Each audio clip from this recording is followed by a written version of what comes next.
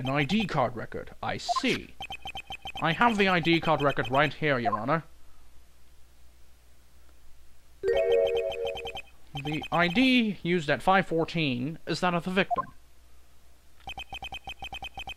Just before the crime, hmm? Yes, without a doubt, this is the victim's ID. However, one thing does strike me as unusual. Several hundred cases should have been due for transferal. Why were there so few people using this room? This particular evidence room is only used for storing special certain special cases. Special cases? Extremely violent cases involving police staff. Just hearing that makes my hair stand on end. Me too, although it doesn't make much of a difference. there were only a few cases up for transferal there, and most were cleared up by noon. Right, I see. Now, let us move on to the cross-examination. Alright.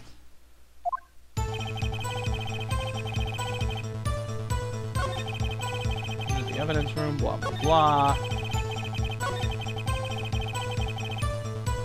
Huh, is that what you think? Well, I got something here. Might prove you wrong. Objection! Wait one moment, Officer Meekins. I'm not good at waiting, sir. I have the victim's ID card right here. I found it at the crime scene. That makes sense. When I say crime scene, I'm not referring to the evidence room at the police department. I mean the other crime scene. The underground parking lot of the prosecutor's office. Your Honor, I have one more piece of evidence to present. This is a very important clue regarding the victim's ID card. Uh, lost item report? It's only half completed. But it shows that Detective Goodman had lost something on the day of the crime. Something important enough to fill out this report. Let me guess. You believe this something to be his ID card, right? I can't say for sure, but there is a high probability. On the day of the crime, Detective Goodman was not carrying his card. Order, order. So now, what does all, this all mean? It can only mean one thing. It doesn't require much thought. The man Officer Meekins encountered in the evidence room was not Detective Goodman, but rather the man who stole his ID card. Order, order, order. Does the prosecution have a response? I have only one thing to say to the defense. Bravo, Mr. Wright. Bravo? Allow me to summarize the defense's argument. At 5.15 p.m. on the day of the crime, the man Officer Meekins encountered in the evidence room was not Detective Goodman. There are two grounds to support this. First, the locker in the evidence room was already unlocked. Second, the victim lost his ID card. Am I correct so far, Mr. Wright? Yes. That being the case, we must inevitably arrive at a single conclusion. If the victim in this video is a fake, then the murder in the evidence room is also fake. In other words, the security camera does not show the instant of the murder. Uh, that is... Well, I guess that's right. Is something wrong, Mr. Wright? Only moments ago you seemed content to be pointing your finger around. This isn't good. Well, well, it seems you finally realized exactly what you've gone to such lengths to prove. Explain yourself, Mr. Edgeworth. The defense has already done the explaining for me. The victim in this video is a fake, which means a murder did not take place at the police department at 5.15 on the day of the crime. So... So the real crime can only take place in one location, the underground parking lot at the prosecutor's office. The murderer being Miss Lana Skye, the defendant. The evidence is compelling. A trustworthy witness observed the moment the defendant used the murder weapon. Oh dear.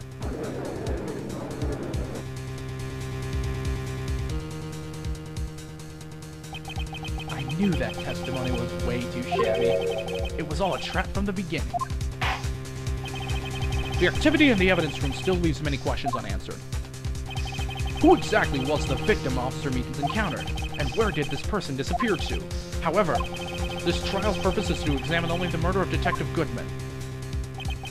Just so, Your Honor. Mr. Wright, you have to do something, or else Lana... What do I do? How am I supposed to get myself out of this mess? Object! Objection! One moment, Your Honor. What now, Mr. Wright? Don't tell me you're objecting to what you've just proven. Of course not. But I almost walked right into the prosecution's trap. What are you talking about? This cross-examination has proven one thing and one thing only. The security video did not show the actual murder.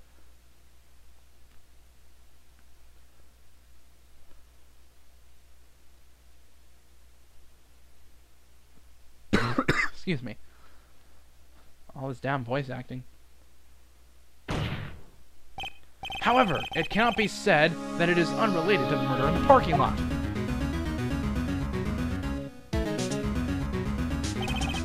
Specifically, large amounts of blood traces were found in the evidence room. The defense demands further examination into the truth of the matter. Mr. Edgeworth. Yes, Your Honor? If this court were to examine this further, other witnesses will be necessary. Is the prosecution prepared? I'm sorry, Your Honor. The prosecution considered the incident of the police department to be unrelated. We have not prepared any other witnesses for this incident. This just might be my chance. Time to call a certain Texas Ranger instead. Mr. Wright, do you mean... Your Honor, the defense would like to request a specific witness. Oh? Whom do you have in mind? Someone we have reason to believe knows the truth. The truth behind the activities that took place in the evidence room. The prosecution requests to hear this person's name before deciding whether or not to comply. Very well then, Mr. Wright. This person whom you would have t- uh, whom you would have testified, what is his or her, na- her name? His name is Take that! Officer Jake Marshall. Why him? Can't let him know everything just yet. He's in charge of the evidence room. I feel we should hear what he has to say. The prosecution agrees with the defense's request. Since he, has, uh, since he was responsible for guarding the room, we should hear his testimony. Fortunately, he works in the police department. We shouldn't need longer than 20 minutes to prepare. Very well. The court will take a 30-minute recess while the witness is subpoenaed. Will the prosecution please prepare the witness during this time? We will, Your Honor. Court in recess.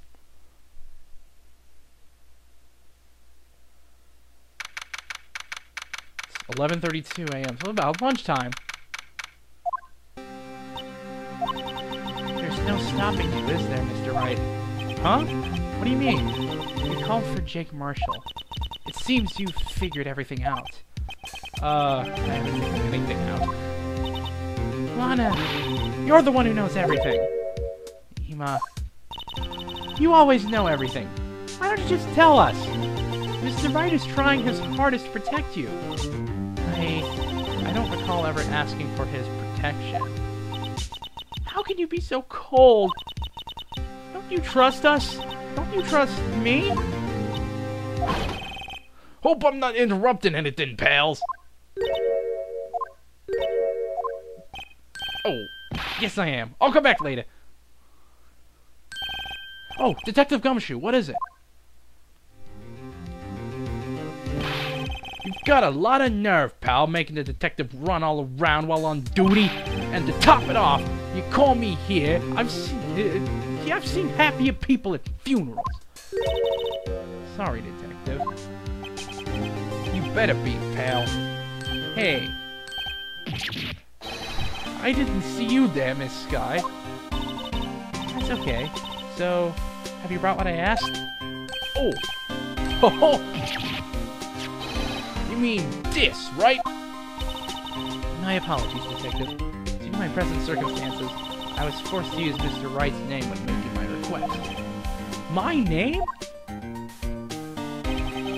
Never in a million years would I have thought it was you who asked me. Could I bother you to bring the SL9 incident files? I'll need them by noon. talk about? Crazy. The SL9 incident? But Lana, that's... I thought Mr. Wright needed might need them, so I, I had them brought here. Here, you might do well to read them. I can't believe you. The chief prosecutor were a witness in that case. Miss Skye was a witness? Take it from me, you don't want anything to do with serial murders. Oh, what? Now that I've brought your stuff, you're just gonna ignore me?